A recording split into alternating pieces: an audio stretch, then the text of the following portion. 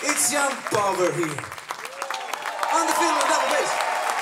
Oh, for heaven's sake, Jampa, You are too, you are too great.